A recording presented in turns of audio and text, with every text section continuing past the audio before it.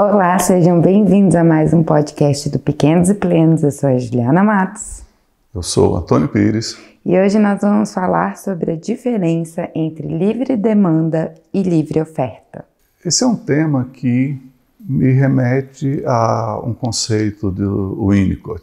Ele, há 80 anos atrás, ou talvez até mais, ele publicou um conceito em que ele dizia que a, a proliferação, né, a publicação de livros, manuais e os especialistas que se propõem a ensinar uma mulher a ser mãe, que tiram dessa mulher um conhecimento que ela naturalmente tem, ou seja, que tiram a, a intuição dessa mãe.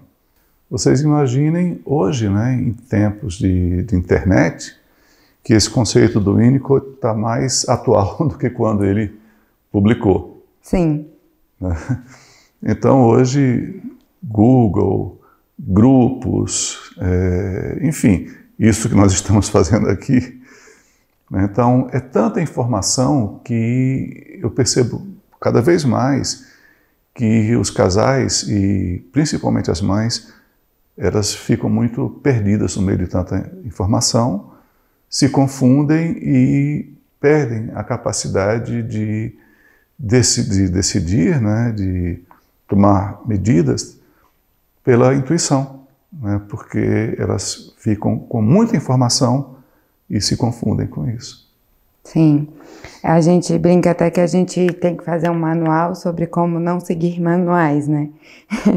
um manual de não seguir manuais. É, então essa é uma proposta da Ju. Então eu vou pensar no manual sobre como, a, é, como aprender a não usar manuais. Exatamente. Né? A confiar na, na, intuição, no bom senso. Exatamente. Essa questão da, da livre demanda e da livre oferta, quando há 15 anos a Elisa nasceu, eh, eu tive a orientação no hospital, ainda na época, é, de daquele bebê reloginho que mamaria a cada três horas, em que então, antes disso ou depois disso, eu deveria ou evitar amamentar ou acordar para mamar, caso passasse três horas e, e ela não acordasse. E, e me, eu me sentia muito escrava do relógio.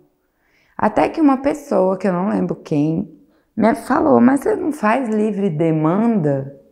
E eu fui entender o que, que era a tal da livre demanda. E hoje eu sinto que essa linha é muito tênue entre o que é uma demanda do bebê e uma demanda dos pais ou da mãe em relação ao choro do bebê, de não conseguir, não sei se é reconhecer, o que, que você discernir, acha? É? Né? É, discernir. Bem, na verdade, o entendimento, né, o discernimento sobre a necessidade do bebê só é possível se existe observação. E o que, o que se vê né, em muitas situações é justamente a, as orientações, os manuais falando sobre rotinas, sobre horários. Então, horários de mamadas, tempo de dormida, horário da alimentação, horário para banho. Com isso, não se respeita né, o, o tempo próprio né, do, do bebê e entramos no, no sistema que é um sistema de intervenção. Então, estabelecemos rotinas e queremos que o bebê se enquadre naquelas rotinas, achando que essa é a melhor forma. Quando, na verdade, no momento em que você estabelece rotinas que desrespeitam o tempo próprio do bebê, você vai é, descoordenar, vai desestabilizar esse bebê internamente. E normalmente os bebês que são submetidos a essas tentativas de rotina são os bebês que dão mais trabalho, que demandam mais. Uhum. E, sobretudo, por você não observar e respeitar o tempo do bebê, você deixa de perceber a comunicação dele. É, isso, é, quando eu falo na livre demanda, eu falo que a livre demanda ela é para tudo no bebê. Que a livre demanda ela implica em observação, em tentativas de entendimento até o momento em que, ao entender essa comunicação, você está capacitado a atender da maneira adequada. Quando você age por intervenções, por interferências, sem essa escuta, sem essa atenção pela comunicação do bebê, você vai ficar desorientado, porque você não vai entender a comunicação. E quando você toma medidas que são fora do tempo do bebê, isso confunde o bebê. E o bebê chora. E você entende que o bebê está incomodado, mas você não consegue entender o motivo. Então, a... quando eu vejo muitas vezes a... mães falarem sobre livre demanda, ou sobre a sucção não nutritiva, o que eu entendo quando elas falam do que está acontecendo, que aquilo que elas estão fazendo não é, na verdade, a livre demanda, não é a sucção não nutritiva por demanda do bebê. É uma oferta baseada numa falsa percepção do cuidador. Ah, ah mas é, o bebê é, Sempre que ele chora, eu ofereço seio, mesmo para sucção não, não nutritiva, como livre demanda. Bem, o bebê, ele não chora só porque ele quer seio. O bebê chora porque ele está numa fase pré-verbal e a comunicação que ele tem, fora a expressão corporal, é através do choro. A questão é que, para que você entenda essa comunicação, quando o bebê chora, você tem que ter um, um tempo mínimo de observação para você poder estudar, né? você escutar, você olhar, é, entender a mímica, a movimentação corporal, as expressões do bebê, o padrão de choro, para você procurar determinar causas. E você vai perceber que às vezes o bebê chora porque ele está incomodado, às vezes porque quer fazer cocô, porque é, é, é hora de trocar, a fralda está tá suja, aquilo está incomodando. Ou então esse bebê chora porque está com sono. Ou ele pode chorar porque ele quer so somente o acolhimento, que é colo. E tem o choro do bebê, que efetivamente quer o seio. Se eu entendo isso e quando o bebê chora, eu observo, tento entender e no início eu ofereço soluções, né, até para eu ir entendendo né, nessa fase inicial, até posso precisar fazer exclusões até eu começar a entender. Uhum. E se eu pego o bebê que ele chora e eu acolho, ponho no colo, e esse bebê cala, Possivelmente esse bebê está precisando só de contato. Então, é uma livre demanda de contato. Agora, se quando o bebê chora, eu entendo que se ele chora eu devo colocar no seio, que isso é livre demanda, eu não sou assertiva nesse momento. Ah, talvez não esteja sendo livre demanda do que o bebê realmente precisa. É, é. Então, porque cada coisa para ele é, deve ser vista por livre demanda. Sim. Agora, se você percebe que você tomou medidas ou que ele realmente quer o seio e você oferece o seio, você está atendendo essa livre demanda. Mesmo que ele queira o seio, sugue um pouco e fique ali, e que sejam momentos de sucção não nutritiva, mas se você percebe que essa é a demanda dele. Agora, para que isso aconteça de uma maneira organizada, isso passa por observação. É, eu acho que é a mesma forma que a gente tenta a tentativa e erro com a exclusão, né, que você falou, em relação às outras possíveis necessidades do bebê, se um bebê passa 24 horas no seio, que a, a gente tem muito essa, essa coisa, né, aquela mãe que não consegue comer, que não consegue tomar um banho, porque o bebê está 24 horas no seio. Na minha humilde opinião, é, na minha experiência de quatro crianças, isso é um sinal de que não a necessidade que ele precisa de fato não é o seio, porque não é normal um bebê ficar 24 horas no peito. Não. Então, se o bebê está passando 24 horas no peito e o peito está, eu não quero dizer isso de uma forma agressiva, mas sendo um cala-boca para o bebê, tipo assim, o bebê chorou, vai para o peito, o bebê chorou, vai para o peito, isso me dá a sensação de que, na verdade, a gente não está atendendo o que de fato ele gostaria.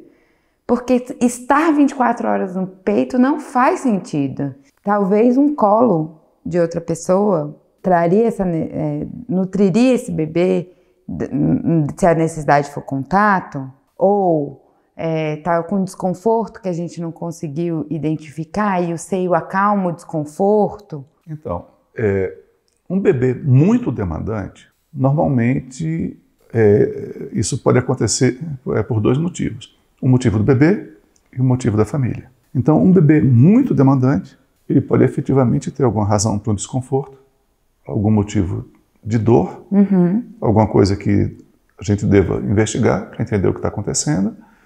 E muitas vezes é um bebê que tem uma grande necessidade de contato, o que é normal. Uhum. Tanto que o, o, que nós defendemos sempre é que um bebê, logo depois do nascimento, que ele fique quase permanentemente em contato com o corpo da, da mãe, mãe, ou do pai, não é isso? Uhum. De usar o sling como forma de organizar o bebê. O outro motivo, que eu falo que é o motivo da família, ou é um, um, um conceito de que o bebê chora que tem que ser colocado no seio, né? porque assim foi orientado, ou então, muitas vezes isso vem em consequência das questões maternas, ou questões maternas, ou dos dois, ou seja, questões familiares. Então, se eu sou um adulto, um, adulto, um cuidador, que tenho questões minhas na minha história de vida e que me tragam um, alguma dor profunda, alguma situação em que eu tenha uma grande dificuldade em lidar com o choro, eu terei uma grande dificuldade em lidar com o choro do bebê. E muitas vezes eu não tenho a dificuldade, mas o companheiro, a companheira tem. Então, assim, o bebê chora, ele quer mamar. O bebê chora, põe no seio. Então, termina que às vezes a mãe faz isso para atender a demanda da outra terceiro, pessoa. Da outra é. pessoa. E uma coisa que eu observo também é, às vezes, por exemplo, uma outra pessoa da rede de apoio, ou a avó, ou o avô, ou, pra, ou enfim, uma tia, pega o bebê, tá, o bebê tá chorando. Aí a mãe fala: Você pode dar colo para ver se só o colo resolve? Aí a pessoa não consegue lidar com o choro do bebê, segura o bebê parecendo que o bebê vai explodir a qualquer momento. 30 segundos. 30 segundos, o bebê não cala, porque é óbvio, ele não, não é aninhado, ele não sente aquele conforto. E aí o bebê chora e a pessoa fala: tá vendo? Não é o colo, ele quer mamar. E aí entrega o bebê pra mãe, tipo, um minuto. E aí é óbvio que no colo, no peito, com o peito na boca, nem o bebê não chora mesmo, tem um peito na boca. É, tem situações, você vê, por exemplo, um bebê que vai fazer uma troca de fralda e que durante a troca de fralda esse bebê chore. É comum, é, durante a troca da fralda, quando o bebê está chorando, que a pessoa que está fazendo a troca da fralda, ela fica mais apressada, mais afobada, porque quer acabar logo para o bebê parar de chorar, ou então começa a fazer brincadeiras, coisas para tentar distrair o bebê, quando na verdade o bebê está chorando porque possivelmente está incomodado pela manipulação da troca de fraldas e também porque tá, talvez exista uma falta de comunicação né, com o bebê nesse momento. E, é, de repente começa a levantar a perna, arrancar a roupa, ele não entende o que está acontecendo e ele chora. É. E aí, no momento em que acaba a troca da fralda, rapidamente essa mãe pode pegar o bebê e colocar no seio para o bebê calar. E o que eu observo muitas vezes é que na hora que termina a troca da fralda, eu falo assim: olha, acabou de trocar a fralda, só pega o bebê no colo e conta até 15. Porque o que eu vejo é que no momento que acaba esse procedimento e que você acolhe o bebê, ele chora um pouco e ele entende que aquilo acabou e ele cala. Se você dá o tempo e organiza esse bebê, possivelmente ele não vai precisar ir para o seio. Não é que seja errado e, colocar é, no seio. É, exatamente. A questão é. é que pode não ser necessário isso, pode ser que o simples acolhimento atenda à necessidade do bebê e a importância de você ter essa assertividade, de entender o que fazer em cada situação, é para você não estabelecer condicionamentos no bebê e que depois eles se tornem exaustivos, difíceis para que você atenda. É, eu, e tem uma linha tênue, porque assim, é, é, estamos aqui defendendo os bebês que não falam, é que às vezes o bebê é taxado de um bebê chorão, um bebê que demanda demais, um bebê enfim, quando na verdade somos nós adultos que estamos tendo o desafio de conseguir conectar com essa frequência e entender o que está acontecendo. Então não é um bebê que ah, ele é muito carente, ou ele demanda peito o tempo inteiro, ou não é, é a gente que muitas vezes está tendo dificuldade de silenciar, de compreender e de entender o que esse bebê faz. E, e, e a gente taxa o bebê e a gente é, fica muito exausto também, porque realmente amamentar o bebê 24 horas por dia não é, é sobre humano, não tem como. Então, tem dois aspectos importantes aí. Um deles é que, na medida em que não exista o entendimento, porque não existia a observação, se você não atendeu aquela demanda do bebê, ele vai continuar chorando na expectativa de que aquela demanda seja atendida. Sim. E se você coloca ele no seio muitas vezes para que ele cale, ele vai calar no seio. Mas quando ele sai, como aquela demanda não foi atendida, ele chora de novo. Ele vai chorar novamente. Uhum. Né? E o outro aspecto é que muitas vezes, quando essa, tá, essa forma mais difícil de conduzir, isso leva à exaustão. E eu falo que o, o cansaço ele é mau conselheiro, porque uma mãe cansada, ela tende a colocar o bebê mais vezes no seio como uma forma de calar para que ela consiga descansar. Uhum. Ou então para que ela consiga fazer uma outra coisa. Sim. Então é uma solução que não foi focada na necessidade do bebê, uhum. e sim numa necessidade materna.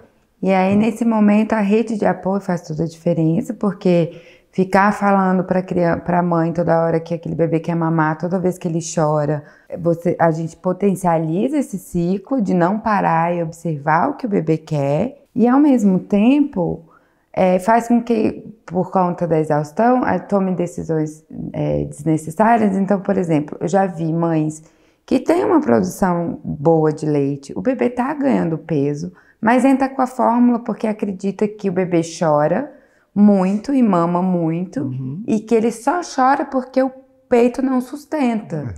É, é. Então, ah, o bebê mama de hora em hora, meu leite não está suficiente. É. E na verdade, ele não chora não é porque o leite não é suficiente, é porque ele quer outra coisa que não é o peito. Sim. Né? Ou porque ele precisa de esteja com desconforto, enfim, uma dor e aí o, o peito ajuda ele a não a lidar com a dor naquele momento, mas quando ele para de sugar, a dor volta e aí ele desorganiza de qualquer forma.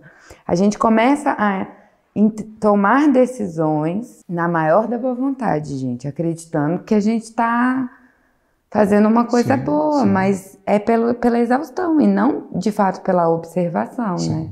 É, é, nós vemos muitas vezes quando ah, mães que têm que falam sobre o bebê que demanda muito, até profissionais, falarem que é normal e que deve colocar, oferecer o seio na sucção não nutritiva e que a mãe termina entrando num processo que é esse processo do bebê que fica quase o dia todo mamando e que eles entendem que essa é a solução, quando deveriam procurar entender o que está acontecendo nessa dinâmica do bebê ou do vínculo que faz com que esse bebê demande tanto. Sim. Porque bebês têm seus tempos de, de sono, têm seus tempos de estar acordado e estudando o ambiente, têm os tempos de choro por demandas diferentes. Essa observação ela é muito importante na fase inicial. E muitas vezes essa observação ela vai acontecer na medida em que essa mãe ou que o casal tenham disponibilidade naquele primeiro mês de vida, segundo mês, para fazer o estudo, a observação e o entendimento desse bebê. Então, daí a importância do bebê estar próximo.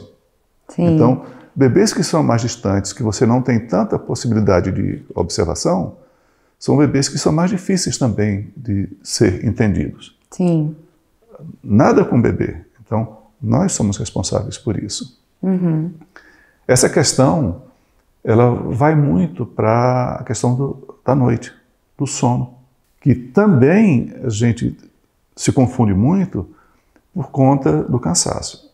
Então, fazer cama compartilhada, ou você ter um berço acoplado, você ter o bebê perto de você, isso favorece muito, facilita muito o cuidado e organiza o bebê, porque ele estar perto dos pais normalmente deixa o bebê mais tranquilo também. Uhum.